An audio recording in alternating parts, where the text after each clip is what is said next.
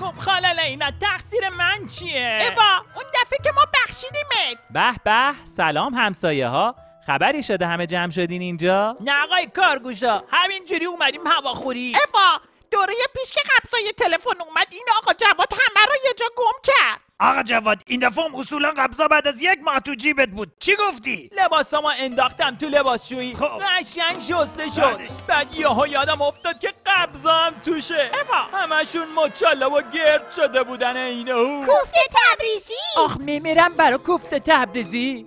تازه امروز هم روز آخر پرداخت بود. اصولا بانک ها هم این ساعت بسته شدن. باشه. روم به دیوار مسئولیت همه خرابکاری ها پای منه. خب ببینم چرا شما با شماره 1818 تماس نگرفتین؟ برای دستگیری آقا جواد؟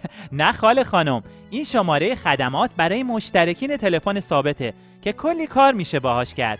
یکیش هم پرداخت بدهی های تلفن به روش الکترونیکه. فقط باید یک کارت آبربانک داشته باشید. آقا من اصولا یکی دارم. منم قبل از عقد از خانم رفتم یکی گرفتم. حالا کافیه 1818 رو بگیرید.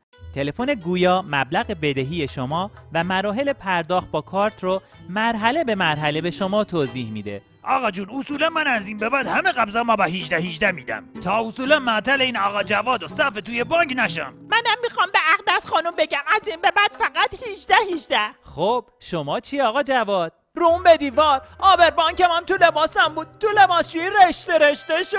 مثل ماکارونی. به به میمیرم واسه ماکارونی. شما هم با استفاده از 1818 در وقت و هزینهتون صرفه جویی کنید. از هر نقطه استان در طول شبانه روز قبض پرداخت و تلفن بلا فاصله وصل میشه. روابط عمومی شرکت مخابرات استان خوزستان.